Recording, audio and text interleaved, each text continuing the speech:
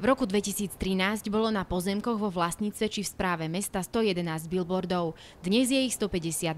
Celkový počet však môže byť ešte vyšší, keďže k tomu nerátame billboardy, ktoré majú ľudia na svojich súkromných pozemkoch. Mňa to dáko nezaujíma. Nevadia vám.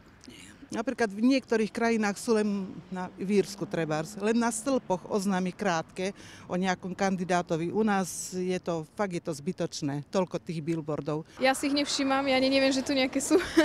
Za tebou? Aha. No ich tu dosť, keď si takto, keď sa obzriem.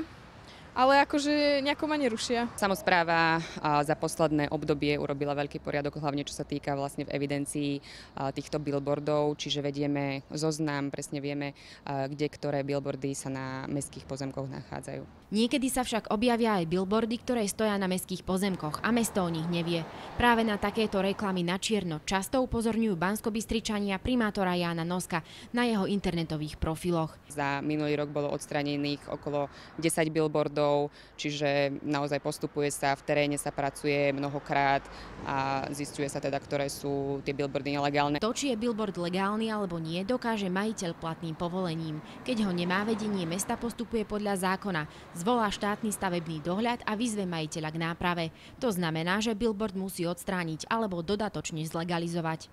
Tak podľa mňa ich je v Banskej Bystrici viac než dosť. Malo by tu byť viac stromov. V meste mi nevadia len okolo tých cest, takže ich veľa. Niekedy treba informácie aj billboardami dávať do sveta. Ak máte záujem o takúto formu reklamy aj vy, na jednostranný billboard si pripravte 400 eur. Obojstranný vás vyjde na 840 eur. Ceny prenajmu sú na rok. Tento rok sa plánuje na billboardoch zarobiť približne 66 tisíc eur, kým v roku 2012 to bolo iba 12 tisíc eur.